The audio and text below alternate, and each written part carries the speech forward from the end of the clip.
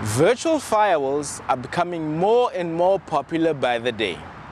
Every network security vendor is creating a virtual edition of their hardware firewalls to cater for the ever-growing demand. Big question is, do virtual firewalls work as well as their physical counterparts? Do they perform well and do the same job as the physical firewalls do? Let's break it down together and see what we can come up with.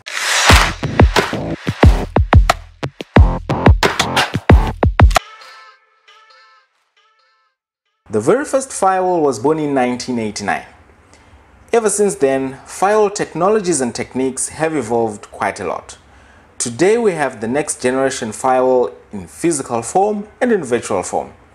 Every major vendor in the security industry has created a virtual firewall for different platforms.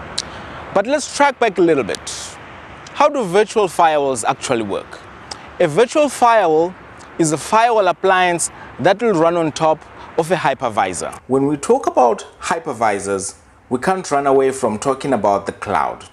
You can run a hypervisor inside your private cloud or in the public cloud. Many virtual firewalls support a wide range of hypervisors and cloud platforms. Now this gives the end user flexibility in terms of deploying the firewall in their respective environment. Now, you can't be fooled into thinking that virtual firewalls are only limited to commercial firewalls offerings. You can also get open source virtual firewalls and the list is growing quarter by quarter. Now let's have a look at these virtual firewalls, how they operate. Traditional hardware firewalls, as the name says, hardware firewalls, run on dedicated hardware that is tailor-made for one job.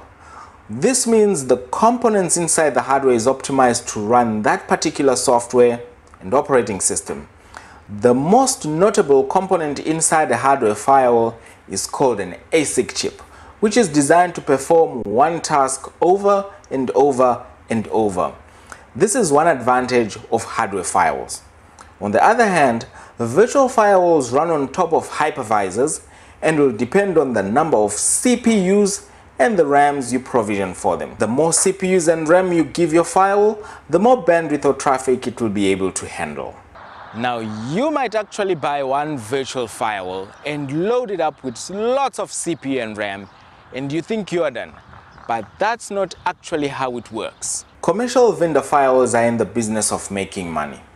They know they can't give you one virtual firewall to cover all your needs because they will lose revenue. That's why they have licensing options for different tires. Virtual firewalls have tires. For each tire, there's a different license. For example, tire 1 is a firewall that will support a maximum of one CPU. You can only do so much with one CPU. Tire 2 will support a maximum of two CPUs, and so on and so on. The goal is even if you don't buy hardware from these vendors, they still want to cash in on the software side as well.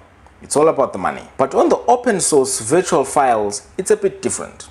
With one virtual file, you can give it as much RAM and as many CPUs as you can and it can be able to handle more and more traffic. Virtual firewalls are only but increasing in terms of deployment numbers. Most OTT providers don't use commercial firewalls offerings. They use open source virtual files in large quantities because they have loads and loads of CPU horsepower available in their data centers and lots of network developers to code and customize the open source files. So it will make sense to use open source files. In terms of performance, if you are running less than 10 gigs throughput, you will be fine with a virtual firewall or a physical one. But if you go higher than 10 gigs, you will need to get a hardware option to get the benefits of running on the ASIC chip.